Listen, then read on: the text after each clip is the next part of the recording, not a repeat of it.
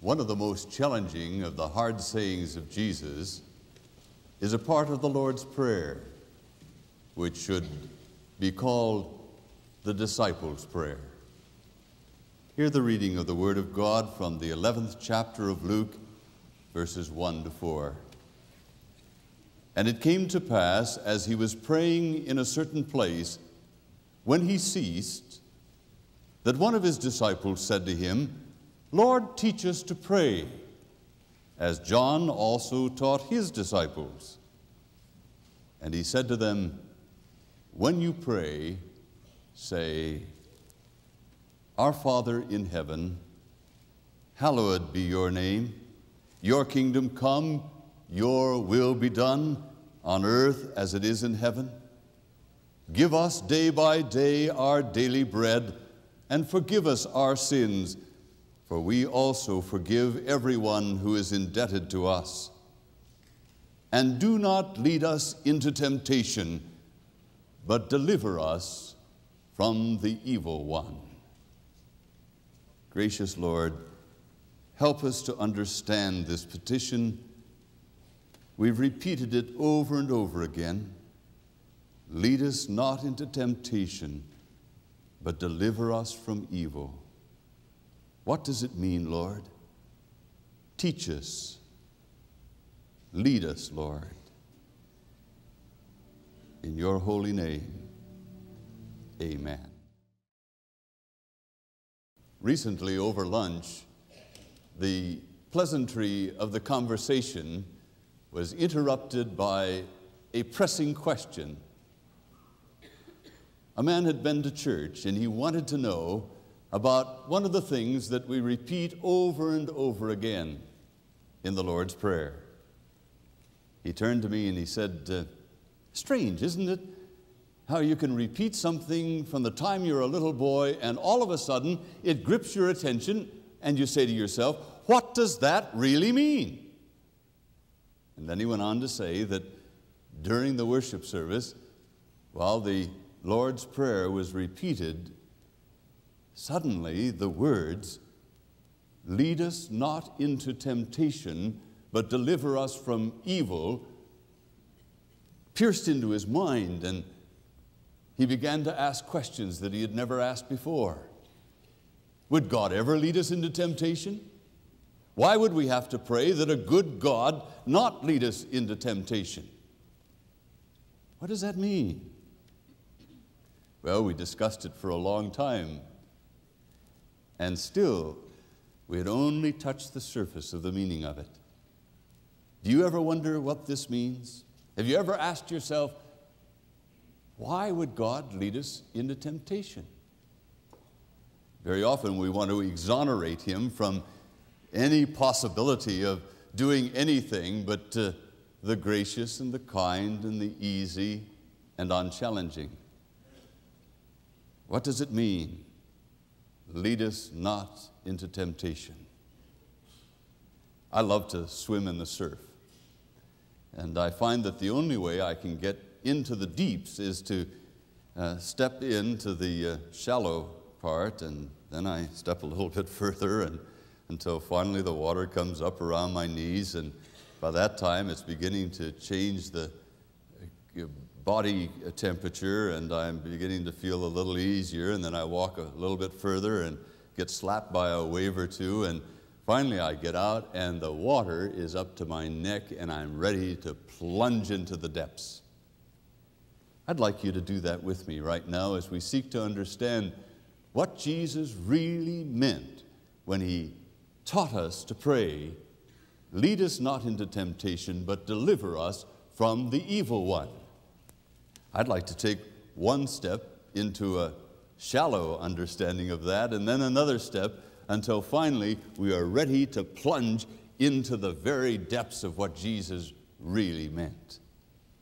As we stand for a moment in the shallows with the water of truth kind of surging around us, we can analyze some of the basic words. Uh, lead us really means bring us not into temptation. And the word temptation can be interpreted on three different levels temptation itself, or trial, or testing. What does that mean? We move out a little bit further and we accept the most generally accepted explanation of that uh, hard saying of Jesus. Most people think that it simply means, Lord, keep us away from temptation. Keep us out of those situations in which we are beguiled by the forces of evil and tempted to do and say things that we never wanted to say or do. Now, temptations do happen. There are times that uh, we tell a little white lie, and it pulls us closer to the possibility of a whole life committed to untruth. We uh, speak an evil or a harsh word to another person in the temptation of anger, and pretty soon a whole nature begins to develop around gossip and hurting, cutting words.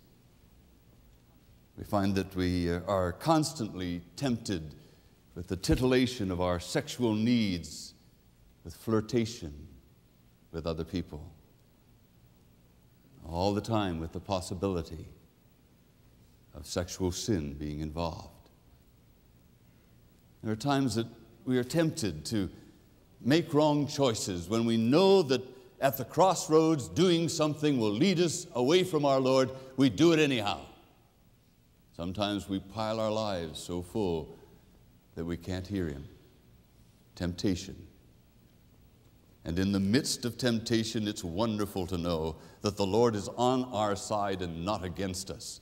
We claim such marvelous verses as that one from the first chapter of James, where the brother of the Lord said, Don't anyone say, I am tempted by God, for God does not tempt anyone and cannot be tempted by the evil one. That gives us some assurance that God is with us in the battle with temptations. Oh, we look over at the uh, 10th chapter of 1 Corinthians, uh, that 13th verse.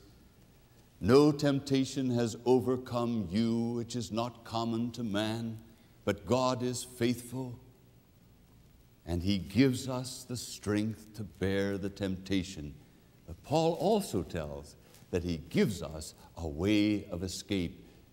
And so many of us, when we repeat, lead us not into temptation, simply uh, are claiming the fact that God will help us in the midst of temptation, keep us away from temptation, and give us courage when the evil one uses the forces and longings and hurts and hopes of our lives to lead us astray. But there's a much deeper meaning than that. So we move out a little further into the water of truth. It's up to our very neck right now. The word temptation also means trial. And in the trials of life, we are tempted with the great temptation, and that is the temptation to hopelessness. It's when life goes against us, when it falls apart, when the bottom drops out, when it goes bump, that we're faced with the temptation of questioning God and wondering, does he know? Does he care? And if he does, why doesn't he do something? Have you ever felt that way? I've heard people ask that question beside the beds of loved ones when they were ill, in corridors with parents when they just lost a child, in excruciating moments of broken relationships in times when people's hearts ache so much they're about to break. They cry out, God, why? And He's with them in the midst of it and helps them not to give in to the temptation of hopelessness. And so when we pray the prayer, lead us not into trials, what we are praying is, Lord, keep us away from those situations that test our faith and that bring us to the end of our energy and force us to question you. Many of us have had those experiences. In times of failure, we've cried out to the Lord, tempted to believe for a moment that He had given up on us, and then He breaks through with forgiving, loving, affirming power, and we know that He is more important to us than anything or anyone. And so we ask Him, Lord, be with us in the midst of it all. Keep the evil one from ever getting a grip on our minds, forcing us to think that you don't have a purpose in everything. But we're still not in the deeps. Come, take the plunge with me. I think Jesus really meant, lead us not into trials. Do not bring us to the test. Does God test us? I think so. As a matter of fact, I know He does. When we drift away from Him, step by step, saying no over and over again to the nudgings of His Spirit, the influence of His love, His guidance, and His direction, we finally get to that place that we described as the unpardonable sin because we get to the place where we neither want nor need nor ask for forgiveness. But before we get to that netherland of resistance, before the door of our heart is absolutely slammed closed to God, in indefatigable, persistent love, He breaks through and He takes a situation that shocks us awake to the realization that we really love Him and that we need Him and we need His grace and His pardon.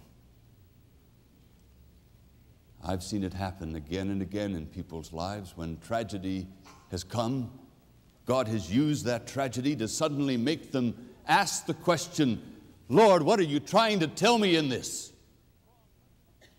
For the strong to become ill is a blessing if, in the midst of the weakness, they can ask the most important question of all Where am I and what's happened to my life? Have you ever been awakened to the reality of the shallowness of your own experience of God when you face some heart rending, soul racking experience? I believe God does test us, not so much to introduce us to Him, but to introduce us to ourselves. For beneath the surface, beneath the external caricature that we project to other people is our real character, the real person. And down there inside is a person that longs for God more than anything or anyone else. And sometimes God has to break through all of the externals until He can lift out that real person and say, There you are. You really do need and want me, don't you? And we wonder, is that too severe? I saw a man the other day who likes to kid me about my faith. And as I walked by him, he said, Hi, Lloyd! How's your cousin God? Cousin? He's not my cousin. He's my father. And he is the sovereign Lord of all creation the one with whom I ultimately have to do, and the one who judges my life and loves me so much, he shakes me alive to reality and forces me to see that I need him. Now, if you've been through one of those times, when through the heart-rending experience of tragedy or sickness or loss, you know that that's not what you want to go through every day. And I think to pray, Lord, lead us not into testing, is to be determined to live a quality of life trusting Him in each moment, each hour, each decision, each relationship, so that we never need to be brought to the place where He has to confront us with who we are. I think that this uh, prayer is really the antidote to the unpardonable sin. It's the prayer we pray to keep us from that place where we think we no longer have anything to ask for forgiveness. The Lord persists, caring, loving, breaking through, toughening us up so that we are able to face reality and live it to the fullest. Now, let me ask you would it have been better for the Lord to allow David to drift beyond his sin, beyond his self judgment, beyond the place where he could have been reached? No.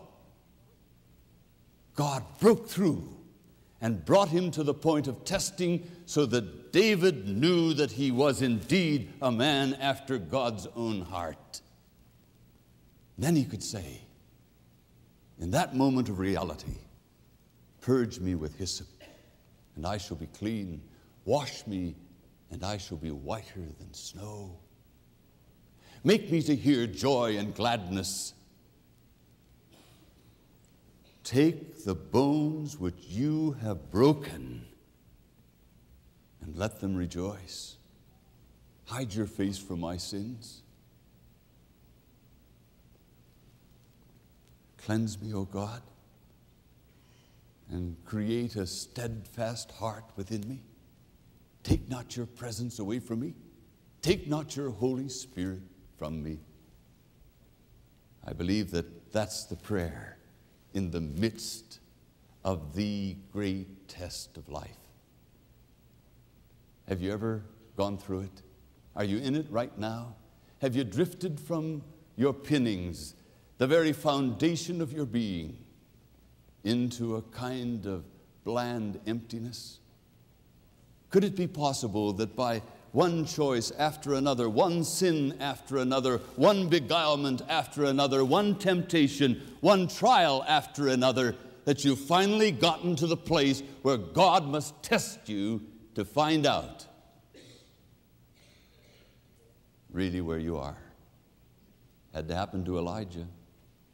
When Job went through it, he said, I've heard of you with the hearing of my ear, but now I see. Paul had to go through it. There was no greatness until he did. Peter went through it and talked about the refining of the gold of his faith. Where are you in it? To pray, lead us not into temptation, really means, Lord, Help me moment by moment to live a life that you'll never have to test with the ultimate test of whether I know and love and receive you. And the antidote to that is to receive him without reservation right now. Because he does give more grace as the burdens grow greater. And the more difficult things become, the more power He gives us, so that we might never, under any circumstances, give in to the influence of Satan to lead us away from God. He won't let us go.